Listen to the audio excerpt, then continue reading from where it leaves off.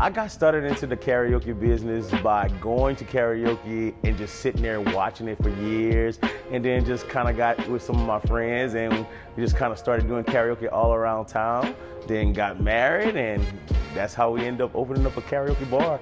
Instead of having to travel all around town, we figured it'd be cool to just bring everybody to one place. What people are saying about the stage is that they, they, they feel at home. They feel a, they have a place to come for the singers. You know, we have places for live music. We have places for people to dance. Now we got a place for people just to come sing and have a good time. And honestly, they feel like family here. So it's like it's it's like their home. What I do here on a daily basis here, I do everything from providing karaoke entertainment. I do cooking, cleaning. I interact with the guests, you know, from playing whether it's beer pong or uh, we got different games that we have here, just interacting with the customers, which I, I personally think they're guests, you know. I don't even like to call them customers, they're guests. It's like our home, you know. What people can expect when they come to the Stage Karaoke Bar is a place they can just feel like they're at home.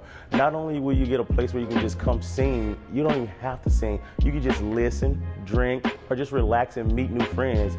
You don't even have to come with a bunch of people. You can come by yourself and you'll before you leave, you'll end up knowing more people over here. How do I keep people from having stage fright? I just let them know karaoke is all about having fun. It, we don't let people boo over here. It's just all about fun. And so the more we spread positivity, people get relaxed. And guess what? Once they sing that first song, that's it. You know, you become a daily uh, regular after that once you do your first one. I think it's true that customers need a little extra liquid courage to help them feel more comfortable. But then we got some people that don't need any alcohol at all, and they are they rock the stage with just that. They already have that. They know that encouragement is gonna come, you know. So it, it can go both ways. Some people need a little liquid courage, some people don't. So I think it's, it's a little true and false, I guess, you know. For me, I don't need any liquid courage. I'm ready to go anytime. I love karaoke.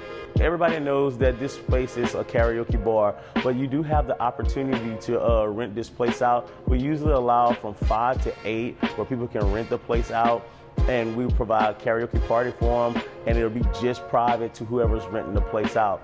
So you'll have a karaoke DJ, you still have all the food and everything, and we actually have a couple of fraternities, sororities already have started renting it out already and having private parties like Mardi Gras balls and different things. So you can have a lot of different functions here. One of the, uh, the, good things about the stage here, you can also, it gets pretty packed in here, so you can rent out things like our VIP section that holds, it seats 13 to 15 people, but it can hold about 30 people standing. Um, we do also have booths and tables that people can rent out. That way you're guaranteed a spot if you want to have a place to sit. You just call us up ahead of time and we can get you to reserve those seats. Five to 10 years, uh, I would like to see the stage karaoke bar have a couple of different locations. So no matter where you go in in the state, you can have maybe two different two different locations to go to, and then eventually, hopefully, when you go to a different state, you'll be able to find a stage karaoke bar somewhere there, and you'll know exactly what you get when you go to a different state. Hi, my name is Hi. My name is Every big K. It's Jeramie Kinnerson with the Stage Karaoke Bar, y'all, here in Lafayette, Louisiana. Thanks for watching this month's Cox Business Entrepreneur Profile brought to you by Developing Lafayette.